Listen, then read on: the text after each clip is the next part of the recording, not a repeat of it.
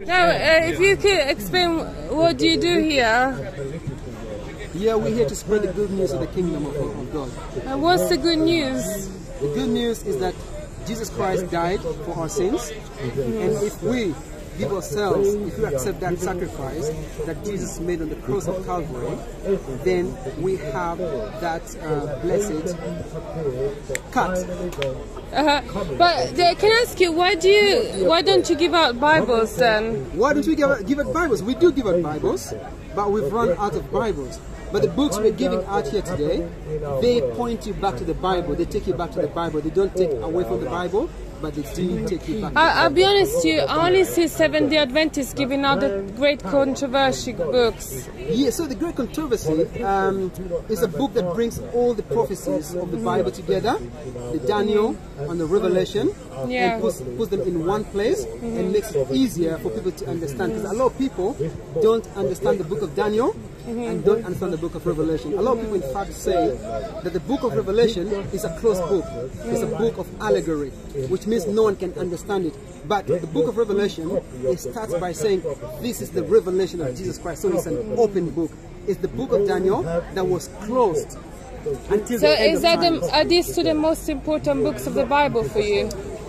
Um, they're not the most important books in the Bible for us, but they form part of one of the most important books because they are the most uh, misunderstood books in the Bible today. I mean, personally, I give out books of John. The, John. Yeah, because is I good. think that's the gospel, and I think uh, that's another gospel. Oh, it's not that gospel, really, if you look at it, because basically, when you look at uh, the book of Daniel, it talks about the 2,300 days. It talks about uh, when Jesus will be born, all right, what would happen to Jesus, and what would eventually, would eventually happen to uh, to the message that it will be taken to the rest of the world.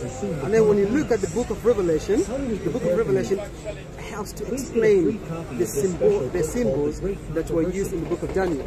Which, if you look in relationship to the history today, you are able to identify that actually these prophecies, a lot of them have fulfilled. That's the only way. So the book is only to bring back together all the books of the Bible. Because basically, this book, the Great Controversy, starts with the, uh, with the destruction of Jerusalem, which was a which was a prophecy that Jesus uh, told to the disciples. on the Mount Olivet. It was fulfilled in 70 AD, I Yeah, think. 70 AD was fulfilled. Yeah. You know, so basically, it brings that one into. It gives more details of what happened uh, at the fulfillment of that prophecy. I mean, personally, uh, anyway, thank you for your time and for explaining. Personally, I would respect this kind of denomination more if they were giving out Bibles. Yeah, you see, Um, that's my opinion because you only give out this Ellen G. White books, and uh, I, you know, you see you've run out, but every time I see Seventh Day Adventists, that's all they give out. They never give out Bibles, so that's like we are happy, we the. are happy if you give us a donation to buy more Bibles. But whoever is funding you should give Bibles. So no, there we is somebody it, that. we fund it ourselves. Okay. Yeah, whoever, whoever is willing and whoever has money, uh, they can donate and we can buy Yeah. more books, more Bibles, and bring Yeah. them down here. Bibles are a bit more expensive. You know what I'm saying? No, I buy books of John for 30p, which I'm sure is cheaper than this. If you look on uh, the pocket bi- uh, What will be the cause of pocket-sized Bibles, the answer is in this free book. The great is a w- website you can buy them. But anyway, um, Because this, yeah, this is about a pound a book. Yeah. yeah, you can buy Bibles for a pound as well. I just think that this is uh, additional.